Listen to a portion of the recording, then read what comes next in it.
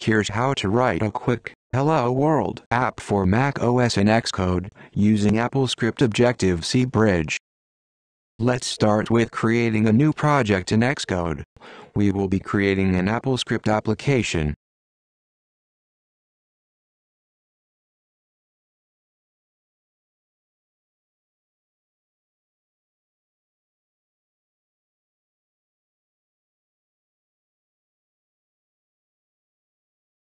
Once the project is created, we will edit the main menu.xib Xcode interface builder file.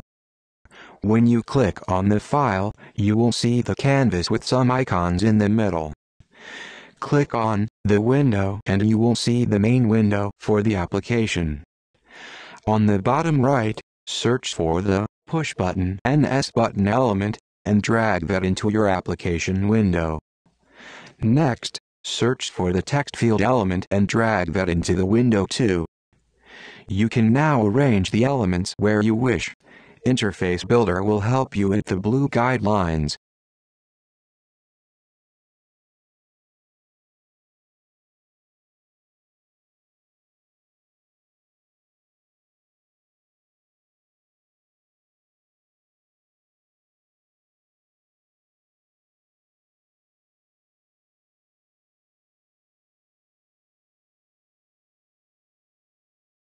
Now that you have created the interface, click on the app delegate AppleScript file, where you will create two corresponding entries for the user interface elements.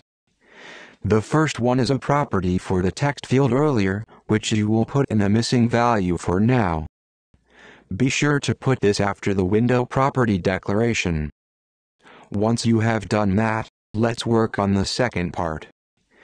The second one is an outlet for the button, which is a function, also known as an outlet in Objective-C, that will receive the action from the NS button in the application window.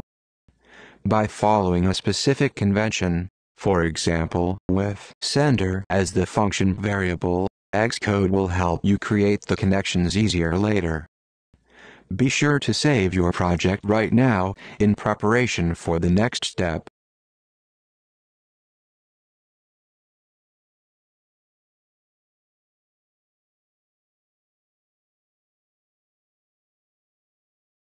Go back to the main menu.xib file.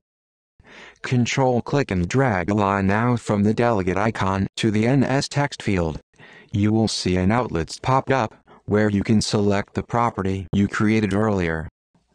Next, Control-click a connection from the NS button to the delegate icon, and again from the pop-up select the function you created earlier. This is how you link actions to outlets between your AppDelegate AppleScript and your user interface. You can verify your connections on the right pane, on the Connections Inspector.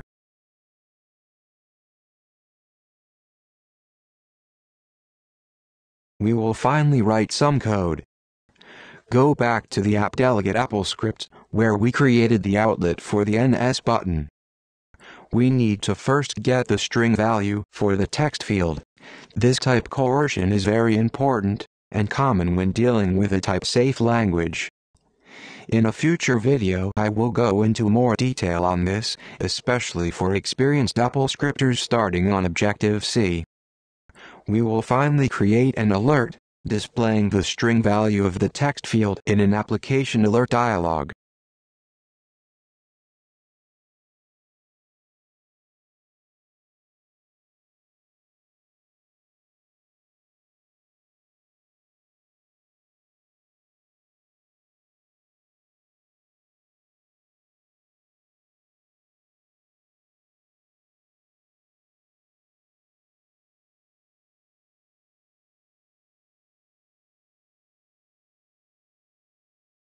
Finally, the moment of truth.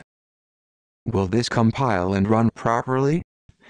Click on the Build and Run button and we will find out.